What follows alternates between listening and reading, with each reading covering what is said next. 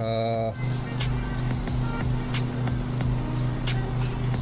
I have gotten my mower stuck.